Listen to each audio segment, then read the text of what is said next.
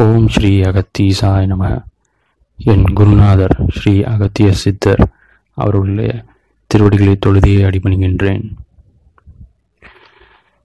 ஸ்ரீ ஈஸ்வர பட்டர் மகரிஷி அவர்களின் திருவடிகளின் தொழுது அடிபணிகின்றேன். வாழும் சித்தர் ஐயா ஸ்ரீ பாண்டியராஜன் சித்தர் அவர்களையும் வணங்குகின்றேன். உமாசங்கர் ஐயாவுக்கு வணக்கம். ஆத்மஞானி உமாசங்கர் ஐயாவுக்கு வணக்கம். என்னோட அனுபவங்களை பதிவு பதிவிட்டு அனுப்ப சொல்லியிருந்தீங்க.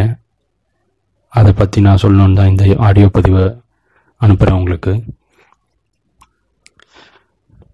முதல்ல இந்த புத்தகம் வாங்குறதுக்கு முன்னாடி எனக்கு ஐயாவை பற்றி அந்த அளவுக்கு எனக்கு தெரியாது. பாண்டியராஜன் சித்தர சித்தர் ஐயாவை பற்றி அந்த அளவுக்கு எனக்கு தெரியாது. நான் வேற ஒரு ஆன்மீக ப்ரோக்ராமில் கலந்துக்கிட்டப்போ அப்போ வந்து ஒருத்தர் மூலமாக எனக்கு பாண்டியராஜன் சித்தரையா பற்றி தெரிய வந்தது. அப்போ தான் நான் பாண்டியராஜன் சித்தரையாவை காண்டாக்ட் பண்ணணும் அப்படின்ட்டு நெட்டில் தேடுறப்ப தான் யூடியூப்பில் உங்களோட நம்பர் எனக்கு கிடைத்து நான் உங்களிடம் பேச ஆரம்பித்தேன் அப்போது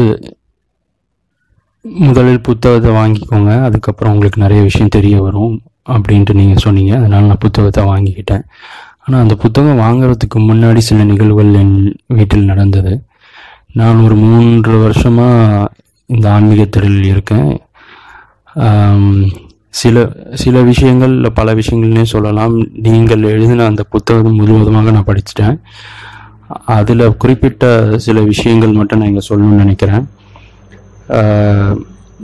உங் நீங்கள் தேடலில் இருக்கிறப்ப உங்களுக்கு சில அனுபவங்கள் கிடைத்த மாதிரி எனக்கும் சில அனுபவங்கள் கிடைத்தது. உதாரணத்துக்கு இங்கே உயராத்மான்னு சொல்லி ஞானி பிருந்தாவனர் அவர்களை குறிப்பிட்டிருந்தீங்க.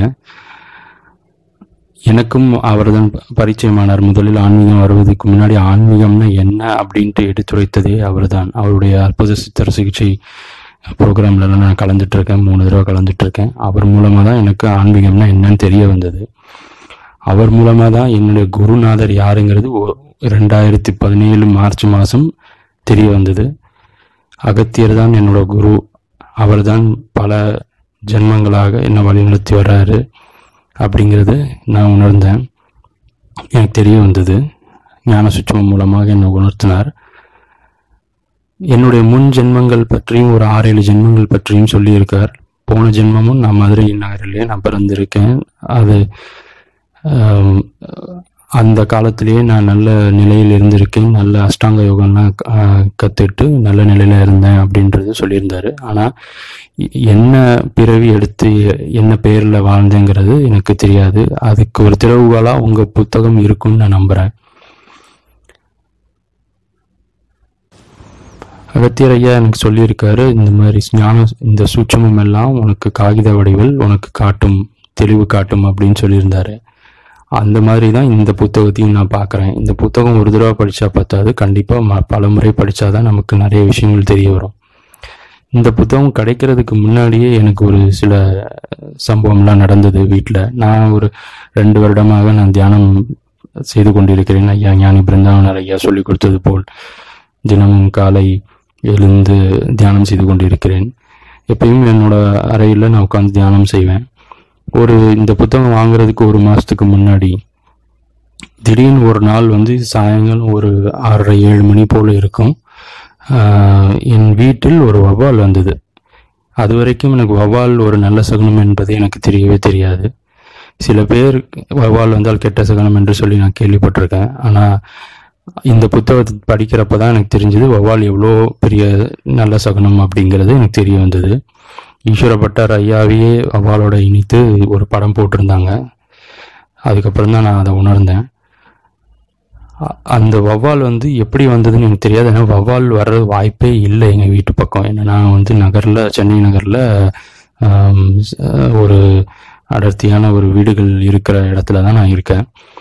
கரெக்டாக அந்த வௌவால் வந்து நான் தியானம் பண்ணுற இடத்துக்கும் நான் ஹாலில் நின்றுருந்தேன். அந்த நான் என்னோட தலைக்கு மேலேயும் வந்து வந்து சுற்றி சுற்றி போயிட்டே இருந்தது. அந்த ரூமுக்கும் என்னோட தலை தலைக்கு மேலே வந்து வந்து போயிட்டே இருந்தது. இது ஒரு பத்து முறைக்கு மேலே நடந்தது. அதுக்கப்புறம் கொஞ்சம் நேரம் கழித்து அந்த வௌவாலே வெளியே போயிடுச்சு. ஸோ இது நான் புத்தகம் வாங்குறதுக்கு ஒரு ஒன்றரை மாதமோ ஒரு மாதத்துக்கு முன்னாடி நடந்தது. அப்போது நான் என்ன நினச்சேன்னா நான் அகத்தியர் ஐயா என் வீட்டுக்கே வருவேன் வருகை தருவேன் அப்படின்னு சொல்லியிருந்தாரு. ஐயா தான் இந்த ரூபத்தில் வந்திருக்காரோன்னு நினச்சேன். ஆனால் அது கிடையாது அப்படின் அப்படிங்கிறது அப்புறம் தான் தெரிஞ்சது எனக்கு. ஆனால் கண்டிப்பாக யாரோ ஒருத்தர் ஒரு பெரிய சித்தரோ யாரோ மகான் வந்து தான் ஆசீர்வாதம் பண்ணிட்டு போயிருக்காங்கிறது எனக்கு புரிஞ்சுது. இது ஒரு நாள் நடந்தது. அதுக்கப்புறம் தான் எனக்கு வந்து இந்த புத்தகம் வா வாங்கினேனா உங்ககிட்ட இருந்து வாங்கினேனா அந்த புத்தகம் ஒரு எனக்கு ரெண்டு ரெண்டு பக்கமும் மூணு பக்கம் தான் நான் படிச்சிருப்பேன். அது படிச்சுட்டு அடுத்த நாளே நான் ஊருக்கு போக வேண்டிய நிலைமை இருந்தது. மதுரைக்கு போக வேண்டிய நிலைமை இருந்தது. அதனால் மதுரைக்கு போகிறதுக்கு முன்னாடி நான் வெளியே வந்து ஒரு சின்ன கடைக்கு போயிருந்தேன். அப்போ அந்த கடைக்கு போயிட்டு வர்றப்ப எப்பயும் போயிட்டு வர்ற இடம் தான் அப்படி வந்து வந்துட்டு இருக்கிறப்ப அதே மாதிரி சாயங்காலம் ஒரு ஏழு மணி இருக்கும். அந்த ஏழு மணி வாக்கில் நான் கடைக்கு போயிட்டு வர்ற வழியில் என் தலை மேலே ஒரு நாலஞ்சு வவ்வால் வந்து சுற்ற ஆரம்பிச்சது. அதே பகுதியில் நான் நிறைய தடவை நான் போயிருக்கேன். ஆனால் இது வரைக்கும் ஒரு வவ்வால் கூட நான் பார்த்ததில்ல. அதுக்கப்புறம் தான் எனக்கு தெரிஞ்சது ஐயா வந்து ஆசீர்வாதம் பண்ணுறாரு மகரிஷி ஐயா ஈஸ்வர பட்டர் தான் வந்து ஆசீர்வாதம் பண்ணுறாருன்னு நான் நினச்சிக்கிட்டேன். இதெல்லாம் ஒரு பெரிய அனுபவமாக நான் கருதுகிறேன் இந்த மாதிரி நிறைய அற்புதங்களை வந்து என்னோட குருநாதர் அகத்தியர் சித்தர் வந்து காட்டிக்கிட்டே இருக்காரு. என் அன்றாட வாழ்க்கையில நிறைய நடந்துகிட்டு இருக்கு நீங்க உங்க புஸ்தகத்துல எழுதியிருக்கிறத படிக்கிறப்ப எனக்கு இன்னும் ஆனந்தமா இருந்தது. ஏன்னா நிறைய நிகழ்வுகள் சிலதெல்லாம் எனக்கு நடந்திருக்கு. உதாரணத்துக்கு நீங்க பூனை பத்தி எழுதியிருந்தீங்க. பூனை வந்து ஒரு பத்து வருட காலமா என்னோட மதுரை வீட்டில் வந்து இருந்துக்கிட்டே தான் இருக்கு. நாங்களா யா எந்த பூனையும் எடுத்து வந்து வளர்க்கவே இல்லை. ஆனால் எப்பயுமே எங்கள் வீட்டில் ஒரு நாலஞ்சு பூனை இருந்துக்கிட்டே தான் இருக்கும். சாப்பாடு கொடுப்போம் அது சாப்பிடுவோம் போகும் அது சில பூனைகள் வரும் கொஞ்ச நாள் வாழும். அப்புறம் எங்கே போகுதுன்னு எங்களுக்கு தெரியாது. அது கண்காணாத இடத்துக்கு போயிடும். அதுக்கப்புறம் அதோட வாரிசுகள் வரும். இதே தான் இது இந்நாள் இது நாள் வரை நடந்துட்டுருக்கு நான் இந்த சென் நான் சென்னையில் தான் வேலை செஞ்சுட்ருக்கேன். ஐடி துறையில் வேலை செஞ்சுட்டு இருக்கேன் ஐடி துறையில் வேலை செஞ்சாலும் இங்கே ஒரு அப்பார்ட்மெண்ட் வீட்டில் தான் இருக்கேன். இந்த ரெண்டு வருட காலமாக தான் இங்கே சென்னையில் இருக்கேன். அதுக்கு முன்னாடி வேறு வெளிநாட்டில் இருந்தேன். ஸோ அந்த காலகட்டத்தில் இந்த இந்த ரெண்டு வருட காலகட்டத்தில் இந்த இந்த அப்பார்ட்மெண்ட் வீடு வந்தாலுமே இங்கேயுமே என்னை சுற்றி வந்து ஒரு பத்து பூனைகள் இருக்க தான் செய்யுது. தினமும் பார்ப்பேன் பூனைகள். ஸோ அது ஒரு ஆன்மீகத்தில் ஒரு நல்ல சகுனம் அப்படின்னு நீங்கள் சொல்லியிருந்தீங்க. அதுவும் எனக்கு மிகவும் ஆனந்தமாக இருந்தது. இதுபோல் சின்ன சின்ன விஷயம் நிறைய நீங்கள் சொல்லியிருந்தீங்க. ரெட்டியாப்பட்டி சுவாமிகள் பற்றியும் சொல்லியிருந்தீங்க. அவரும் என்னோடய வாழ்க்கையில் ஒரு தடவை அவரை பற்றி தெரிஞ்சுக்கிட்டு அவரோட சந்நிதிக்கு டீ விடாமல் நான் அப்பப்போ போகிறப்பெல்லாம் வந்து அவரை போய் பார்த்துட்டு அவரை வணங்கிட்டு வருவேன். இந்த மாதிரி சின்ன சின்ன விஷயங்கள் நீங்கள் நிறைய சொல்லியிருந்தீங்க. அதே மாதிரி முன் ஜென்மம் பற்றிய ரகசியங்கள் வந்து இந்த புத்தகத்தில் இருக்குன்னு சொன்னதுனால நான் ஆர்வமாக படித்தேன் ஆக்சுவலாக இதில் நிறைய சூட்சம விஷயங்கள் இருக்குது என்னோட குருநாதர் சொன்ன மாதிரி எனக்கு காகித தகவல் தகவல் சூட்சமம் காட்டும் அப்படின்ட்டு சொல்லியிருந்தார். அந்த சூட்சமம் தான் இந்த புத்தகத்தில் இருக்குன்னு நான் நம்புகிறேன் இதை கண்டிப்பாக நான் மறுமுறையும் பல தடவை நான் படிப்பேன்னு தான் நான் நினைக்கிறேன். கண்டிப்பாக படிக்கணும். படித்தாதான் இதில் என்ன சூட்சமம் இருக்குங்கிறது ஒரு திறவுகளாக நமக்கு வந்து தெரிய வரும். அது மூலமாக கூட எனக்கு முன் ஜென்மத்தில் நான் எந் எந்த என்ன பிறவியில் என்ன என்ன என்னவா வாழ்ந்தேன் அப்படிங்கிற விஷயம் வந்து எனக்கு தெரிய வரும். இன்னும் நிறைய விஷயங்கள் இருக்குது நான் நேரில் வந்து உங்ககிட்ட பேசலாம்னு நினச்சிட்ருக்கேன். இந்த வாரம் உங்ககிட்ட தீட்சை வாங்குறப்ப கண்டிப்பாக நான் நிறைய பகிர்ந்துக்கிறேன். என்னோட குருநாதர் பல அற்புதங்களும் எனக்காக காமிச்சிட்ருக்காரு.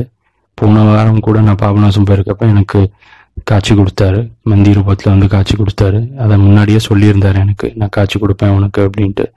அதுவும் ஒன்று நடந்தது. இந்த மாதிரி பல விஷயங்கள் அற்புதங்கள் நடந்துட்டுருக்கு. எனக்கு சரியான பாதையை வந்து அவர் தான் காட்டிட்டு இருக்காரு ஸோ உங்ககிட்டயும் அனுப்புனதையும் அது சரியான பாதையாக எனக்கு காட்டியிருக்காருங்கிறத நான் நினைக்கிறேன். ஸோ அடுத்த வாரம் கண்டிப்பாக உங்களை சந்திக்கணும்னு நான் நினைக்கிறேன். நன்றியா? இந்த புத்தகம் எனக்கு கொடுத்ததுக்கு இந்த படிக்க வாய்ப்பு கொடுத்ததுக்கு உங்களுக்கும் நன்றி. ஈஸ்வர பட்டர் மா மகரிஷிக்கும் நன்றி. ஸ்ரீ பாண்டியராஜன் சித்தர் வாலம் சித்தர் பாண்டியராஜன் சித்தர் அவர்களுக்கும் அவர்களுக்கும் மிக்க நன்றி. பாண்டியராஜன் சித்தரை நான் பார்க்கணுன்னு தான் என்னோட பயணத்தை தொடங்கினேன். இப்போ உங்களை முதல் பார்க்குறேன். கூடிய விரைவில் பாண்டியராஜன் சித்தர் ஐயாவையும் நான் பார்ப்பேன்னு நம்புகிறேன் அவருக்கும் நன்றி.